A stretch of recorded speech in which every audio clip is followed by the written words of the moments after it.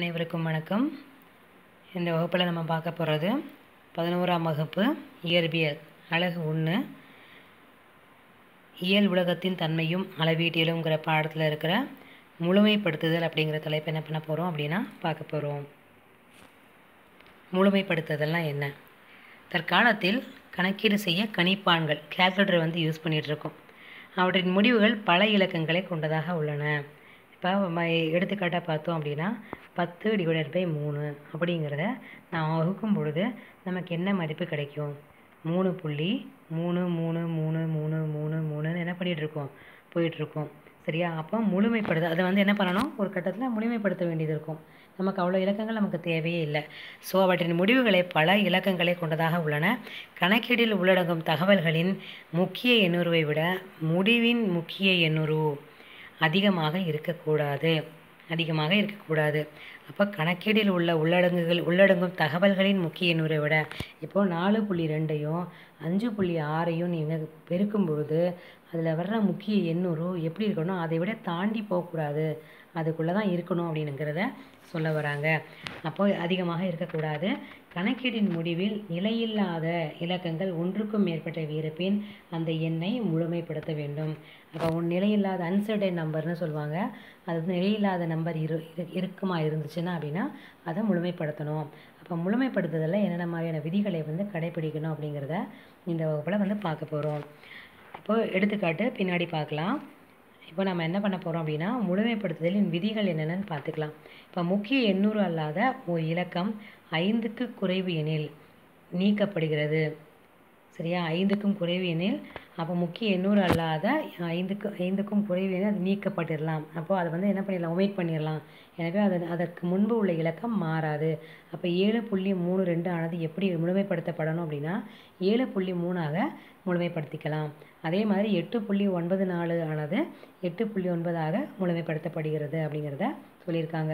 இப்போ முக்கிய எண்ணூறு அல்லாத ஓர் இலக்கம் ஐந்தை விட அதிகமெனில் முக்கிய எண்ணூறு அல்லாத அந்த எண் வந்து அஞ்சு விட அதிகமாக இருந்துச்சுன்னா அது வந்து என்னவா பண்ணி பண்ணிக்கலாம் அப்படின்னா அதற்கு முன்பு உள்ள இலக்கத்துடன் ஒன்றை அதிகரிக்க வேண்டும். அப்போ ப பதினேழு புள்ளி ரெண்டு ஆறு ஆனது பதினேழு புள்ளி மூணாக முழுமையாக்கப்படுகிறது. பதினொன்று புள்ளி எட்டு ஒன்பதானது பதினொன்று புள்ளி ஒன்பதாக முழுமையாக்கப்படுகிறது. சரியா? அப்போ முக்கிய எண்ணூறு அல்லாத ஒரு இலக்கத்தில் ஐந்துக்கு பிறகு வரும் சுழி அல்லாத எண் எனில் முன் முன்புள்ள இலக்கத்துடன் ஒன்றை அதிகரிக்க வேண்டும். அப்போது ஏழு புள்ளி மூணு அஞ்சு ரெண்டு ஆனது ஏழு புள்ளி நாலாக ம முழுமைப்படுத்தப்படுகிறது. அதே மாதிரி பதினெட்டு புள்ளி ஒன்று அஞ்சு ஒன்பதானது பதினெட்டு புள்ளி ரெண்டாக முழுமைப்படுத்தப்படுகிறது. சரியா? இந்த மூன்று விதிகளும் உள்ளடங்கும். அதுக்கடுத்து நான்காவது விதி என்னன்னு பார்த்தீங்கன்னா முக்கிய எண்ணூறு அல்லாத ஒரு இலக்கத்தில் ஐந்து அல்லது ஐந்துக்கு பிறகு சுழி வருமெனில் ஐந்து அல்லது ஐந்துக்கு பிறகு வந்து சுழி வருமெனில் அது நீக்கப்பட்டு அதற்கு முன்பு உள்ள இலக்கம் இரட்டைப்படை எனில் அது மாறாது. அப்போது மூணு புள்ளி நாலு அஞ்சில் நாலு அஞ்சாவோ இல்லை ரெண்டு புள்ளி ரெண்டு அஞ்சு ஜீரோன்னு கொடுத்துருக்காங்க இல்லையா? இப்போ மூணு புள்ளி நாலு அஞ்சு ஜீரோன்னு எடுத்துக்குவோமே. அப்போ அந்த ஜீரோவை என்ன பண்ணிடணும் ஒமிட் பண்ணிடணும் அப்போ அந்த அஞ்சை வந்து எப்படி நீங்கள் முழுமைப்படுத்தணும் அப்படின்னா அந்த இரட்டைப்படை என்ன இருந்துச்சுன்னா அதில் ஒன்று நீங்கள் என்ன பண்ணக்கூடாது? சேர்க்கக்கூடாது. இது நீங்கள் என்ன பண்ணணும்? மூணு புள்ளி நாலு அப்படியே எழுதிடணும் அப்போ அஞ்சை வந்து என்ன பண்ணிடணும் அதை ஒமிட் பண்ணிடணும் அதே மாதிரி ரெண்டு புள்ளி எட்டு புள்ளி ரெண்டு அஞ்சு ஜீரோவானது எட்டு புள்ளி ரெண்டாக முழுமைப்படுத்தப்படுகிறது. அப்போது இரட்டைப்படை என்ன இருந்தால் அதை கவனத்தில் நம்ம வச்சுக்கணும். அப்போ அஞ்சு அந் இரட்டைப்படை எண்ணுக்கு அடுத்து அஞ்சும் அஞ்சுக்கு பிறகு மேலும் வர எண்களை என்ன பண்ணக்கூடாது? சேர்க்கக்கூடாது. சரியா? அதுக்கடுத்து முக்கிய எண்ணூறு அல்லாத ஒரு இலக்கத்தில் ஐந்து அல்லது ஐந்துக்கு பிறகு வரும் சுழி பிறகு சுழி வரும் எனில் அது நீக்கப்பட்டு அதற்கு முன்பு உள்ள இலக்கம் ஒற்றைப்படை எண் எனில் அப்போ நம்ம பார்த்தது இரட்டைப்படை எண் பார்த்தோம். அதுக்கு முன்னாடி இருக்கிறது ஒற்றைப்படை எண்ணாக இருந்துச்சுன்னா கண்டிப்பாக என்ன சேர்க்கணும்? ஒன்று சேர்க்கணும். அப்போ மூணு புள்ளி மூணு அஞ்சு ஆனது மூணு புள்ளி நாலாக முழுமைப்படுத்தப்படுகிறது. எட்டு புள்ளி மூணு அஞ்சு ஜீரோ ஆனது எட்டு புள்ளி நாலாக முழுமைப்படுத்துகிறது. அப்போ இப்படி தான் என்ன பண்ணணும் அப்படின்னா முழுமைப்படுத்துதல் முழுமைப்படுத்துதலில் சில விதிகளை ஃபாலோ பண்ணணும். சரியா?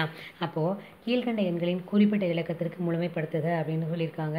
இப்போ பதினெட்டு புள்ளி மூணு அஞ்சை மூன்று இலக்கம் வரை எப்படி வந்து முழுமைப்படுத்தணும் அப்படின்னு கேட்டிருந்தீங்க அப்படின்னா இப்போ ஒற்றை இப்போ எட்டு பு- பதினெட்டு புள்ளி மூணு அஞ்சு அப்போ தசமஸ்தானத்துக்கு அடுத்து வர்ற எண் ஒற்றைப்படை எண்ணாக இருக்குது அப்போ அந்த எண்ணெய் என்ன பண்ணக்கூடாது? நம்ம அஞ்சோட சேர்க்கக்கூடாது. அப்போ பதினொன்று புள்ளி பதினெட்டு புள்ளி ச அஞ்சோட என்ன பண்ணணும்? சேர்க்கணும். அப்போ பதினெட்டு புள்ளி நாலு அப்படின்னு நம்ம என்ன பண்ணிக்கலாம்? எழுதிக்கலாம். அதுக்கடுத்து பத்தொம்போது புள்ளி நாலு அஞ்சு ஐ மூணு இலக்கம் வரை எழுதுக. இது வந்து தவறாக கொடுத்துருக்காங்க.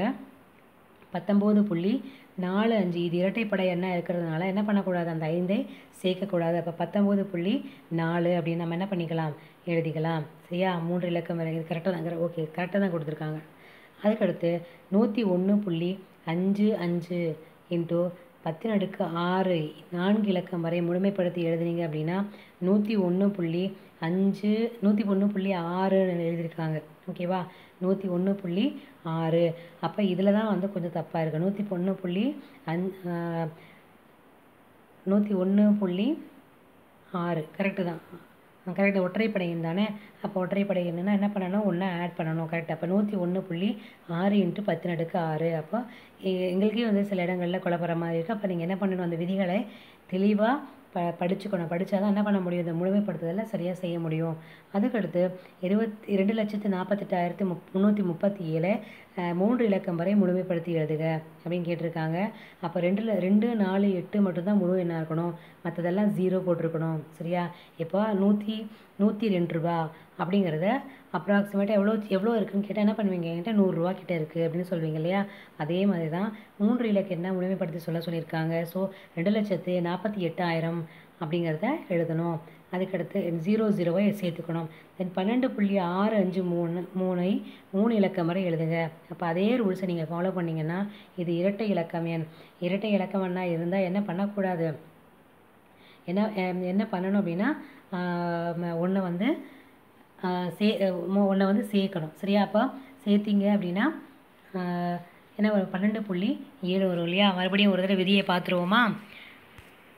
விதியை பார்த்துனப்போ இப்போ ஒற்றை இரட்டைப்படை எண்ணா இருந்துச்சு அப்படின்னா அதை அப்படியே தான் என்ன பண்ணணும்? எழுதணும். ஆனால் இங்கே என்ன பண்ணியிருக்காங்க அப்படின்னா பன்னெண்டு புள்ளி ஆறு அஞ்சு மூணு அப்படிங்கிறது மூன்று இலக்கம் முறை எழுதும்போது பன்னெண்டு புள்ளி ஆறுன்னு மட்டும்தான் வரணும். அப்போ ஐந்தாவது கணக்கு தப்பாக இருக்குது சரியா? அந்த ஐந்தாவது கணக்கு தப்பாக இருக்குது ஸோ அதை வந்து என்ன பண்ணிக்க? கரெக்ட் பண்ணிக்கோ. அப்போ பன்னெண்டு புள்ளி ஆறு அப்படிங்கிறது மட்டும்தான் வரணும். ஒற்றைப்படையாக இருந்தால் மட்டும்தான் என்ன பண்ணணும் நம்ம?